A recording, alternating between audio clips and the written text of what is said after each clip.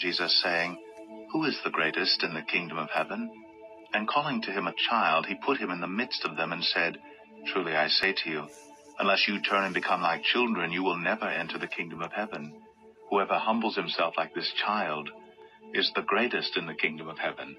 Whoever receives one such child in my name receives me, but whoever causes one of these little ones who believe in me to sin, it would be better for him to have a great millstone fastened around his neck and to be drowned in the depth of the sea.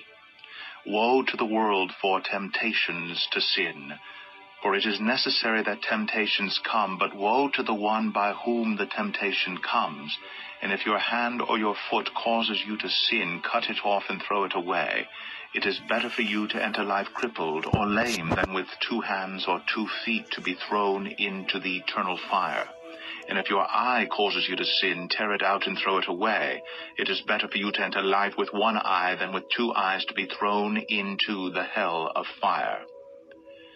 See that you do not despise one of these little ones, for I tell you that in heaven their angels always see the face of my Father who is in heaven.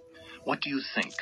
If a man has a hundred sheep and one of them has gone astray, does he not leave the ninety-nine on the mountains and go in search of the one that went astray? And if he finds it, truly I say to you, he rejoices over it more than over